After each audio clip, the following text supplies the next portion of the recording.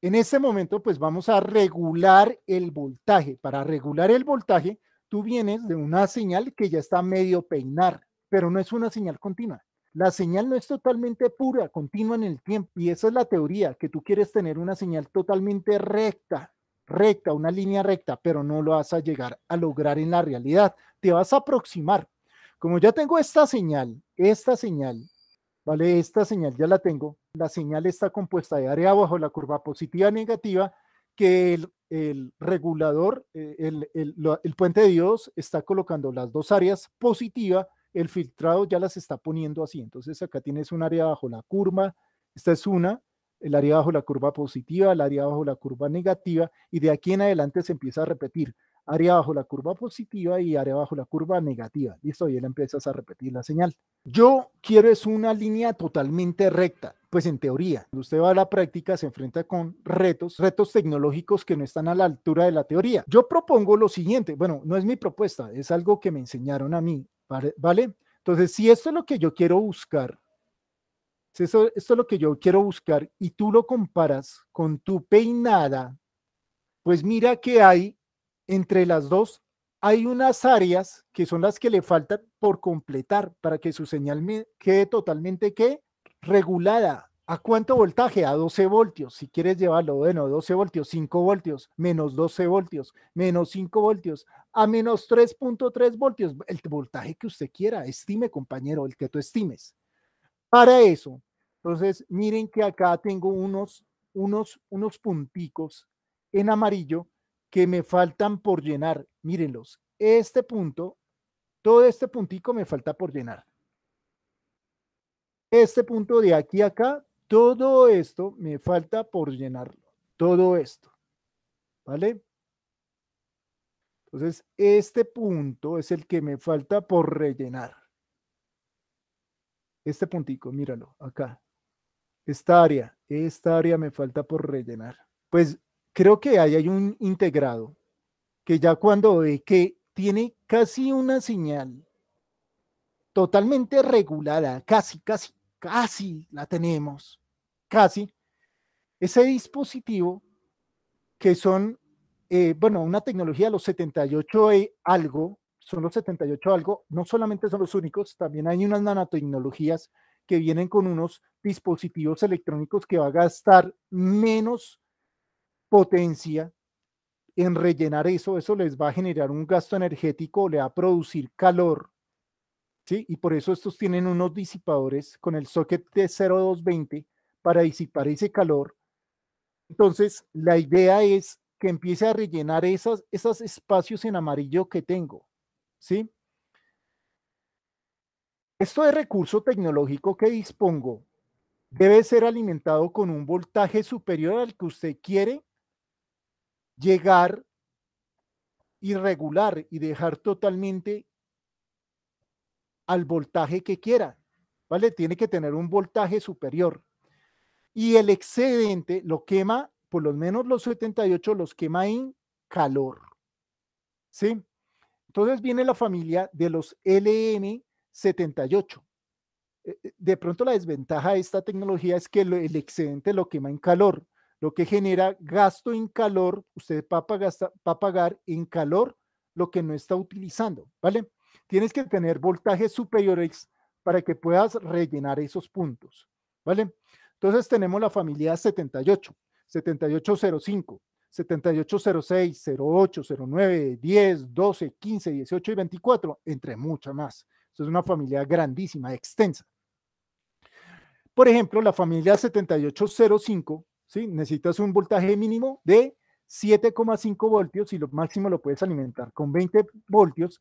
Él te va a entregar esto a un amperio máximo, o sea que tiene algún nivel de ganancia en potencia, ¿sí? Para regularlo a 5 voltios. Por eso se le dice el 0,5, 78 ¿qué? Que busca 5 voltios. No estoy buscando 6 voltios, utiliza el 7806. Necesitas un voltaje un poco superior, 8,5 voltios, voltaje máximo 21 voltios, o sea que el resto lo va a disipar en calor y este te entrega un amperio. La familia 78T T, te puede entregar máximo 2 amperios, que es la que se les está pidiendo, en especial para sus prácticas. Por ejemplo, vamos al 7808, te entrega 8 voltios, si te lo regula 8 voltios, puedes meterle de 10 voltios a 23 voltios. Si le metes un voltaje tan alto, pues se va a calentar mucho. Eso se te va a calentar mucho. El 7810 te lo regula a 10 voltios. Si le metes 25 voltios, el excedente se convierte en calor. Estás pagando, siendo ineficiente en la optimización de la potencia. Estás gastando más potencia en calentar un disipador que, eh, pues que en lo que quiere regular, métale el voltaje como cercano a lo que quiere. Si está buscando 10, métale un 12 voltios. Si está buscando 12, métale un 14. Si no le meta tan alto, porque ahí va a estar gastando energía en lo que no tiene. Si va a hacer una disposición de recursos eh, de energías renovables, un sistema fotovoltaico no le meta tanto porque, pues, ¿de dónde saca esa energía? De los paneles. Bien, eh, tenemos toda esta familia 7805, 06, 08. Por ejemplo, el 7824 te entrega 24 voltios en lo que buscas, en tu objetivo. Esta familia tiene también un integrado muy bonito que es el LM317. Viene en el mismo socket T0220, entonces cuando hablen de estos sockets, siempre viene 78 que 05, 08, 0, lo que sea, y viene dispuesto de la siguiente forma. Este es el pin 1, pin 2 y pin 3, donde esta es la forma en lo que lo van a ver, ¿vale? Pin 1, pin 2 y pin 3, ¿vale? ¿Cómo es así? No entendí. Listo, el 780 que estés buscando viene con el socket T0228. Entonces, todos estos sockets que vienen de esta forma son socket T0228. Este es un socket T0228. Si en la espalda, la espalda es para que disipe la energía. Entonces acá tenemos el, un socket, ¿sí? Un socket, ¿sí? Con la espalda para disipar energía. Ya de frente, pues bueno, pueden pedir el integrado que requieren, un 7808, 03, 04, 05, 024, ¿vale? Eh, hay otros eh, sockets distintos eh, que pueden entregar mucha más potencia. Este te entrega algún nivel de potencia, ¿vale? Entonces, eh, partiendo de eso, desde nuestro socket, entonces ya sé cómo es mi circuito, mi circuito, ¿vale? Pero eh, hay un LM317 que es de la familia 78 que te sirve para entregar un voltaje que tú puedes regular, no, que quiero que me entregue 5 voltios, listo, 6 voltios, 7, 8, 8,1, 8,2, 8,3, lo que hace la fuente de voltaje, que yo la puedo variar, la coloco en, en, una, en una disposición en la que puedo variar el voltaje 5,5, 5,6, que es el que me interesa que obtengan para su fuente de voltaje y que tengan una fuente de voltaje regulable, que ustedes la puedan regular al valor que ustedes estén dependiendo de su proyecto. ¿Vale? Por ejemplo, este 78 eh, 0,5, entonces vemos que todos los circuitos son parecidísimos. Entonces, el circuito, ¿cómo es? Este es el circuito que hay que montar. Entonces tenemos un 78 algo, donde el pin 1 es el voltaje de entrada, pin 3 es el voltaje de salida. Acá viene un condensador, ¿sí? Un condensador, aquí a la salida viene otro condensador para limpiar, purificar y evitar que lleguen eh, señales inversas y te impurifiquen la señal que estás tratando de obtener al final, ¿vale? Los valores que estás obteniendo al final.